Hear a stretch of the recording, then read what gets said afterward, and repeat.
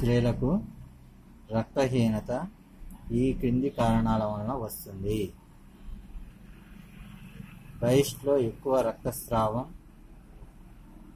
తరచుగా గర్భస్రావం అవడం ప్రసవానికి ప్రసవానికి మధ్య విరామం తక్కువ తక్కువగా ఉండడం రక్త క్షీణత సింహనాలు పాలిపోయిన చర్మం కనురెప్పలు లోపలి భాగం పాలిపోయి పాలిపోయి ఉండుట పాలిపోయిన చిగుళ్ళు నున్నగా మెరిచే నాలుక తెల్లటి చేతిగోళ్ళు.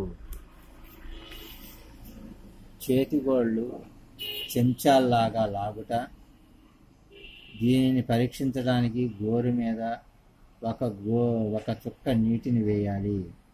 నీరు ఈ కిందికి జారకుండా ఉంటే చెంచాలాగా అయినాయని చెప్పవచ్చు. రక్త బలహీనత అలసట.